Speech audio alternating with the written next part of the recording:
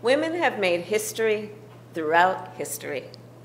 Some we all know the suffragettes, the riveters, the marchers, women who were clear eyed about the moment in which they lived, who stood together against all odds, who lifted each other up, who lifted our nation up. Their stories remind us of what's possible. And there are others whose stories have often gone untold. I'm talking about Radia Perlman and the women engineers who have helped transform the internet into what we use today. Mary Jackson and the women mathematicians who helped the United States win the space race. I'm talking about Harriet Williams Russell Strong and the pioneers in agriculture, Felicitas Mendez, and the fighters for equal access to education Sylvia Rivera, and the fighters for LGBTQ rights. We all feel the impact of these women and their work every day. We honor these and so many other women. We honor all women. And that is certainly true today as we confront this devastating pandemic. Women have been among the heroes of this moment. The majority of frontline workers are women. Every day for a year now, women have gone to work, sometimes risking their own health, to nourish us, to protect us.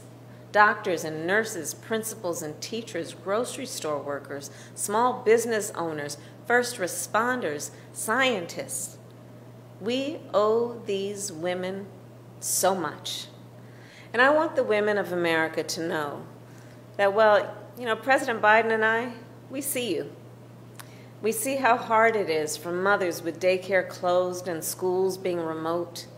We see how hard it is for young women to prepare for a future when things seem so uncertain. And we're here to deal with it. Our American Rescue Plan will help get kids safely back to school, businesses back open, and women back to work.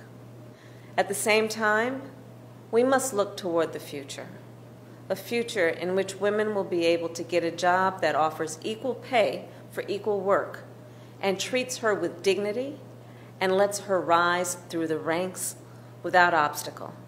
A future in which women will be able to take time off and get the health care they need if they're sick or a family member is sick. A future in which women will be able to send their children to high quality, affordable daycare you know, women make the world work. And in this future, the world will work for women. And when it does, we will all be safer, stronger, and more prosperous. So let me end by saying women must always remember no matter how isolated, no matter how overlooked you may feel, no matter how hard things get, you are not alone.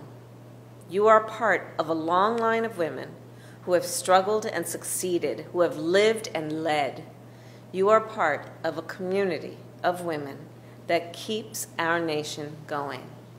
So let's keep standing strong, keep pushing through, keep making history, because we are going to build a better future for women, for girls, and for all Americans together. Thank you.